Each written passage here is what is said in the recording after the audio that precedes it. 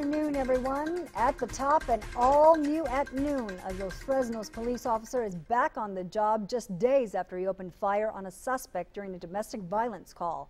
Channel 5's Daisy Martinez is on the phone with the latest. Daisy.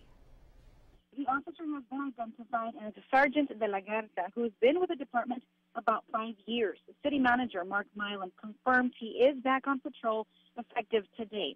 The officer was placed on paid administrative leave pending the outcome of an investigation to determine if his actions of opening fire on a man were merited.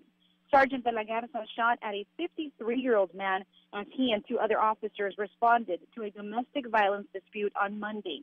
He didn't hit the man because he was running backwards and didn't get a clear shot, according to the city manager. The man was finally tased before being arrested.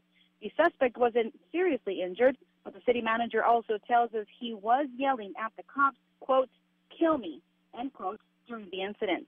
He was arrested and charged with aggravated assault, aggravated assault on a peace officer, and making terroristic threats. The city manager tells us that this investigation is now complete. From Cameron County, Daisy Martinez, Channel 5 News at noon.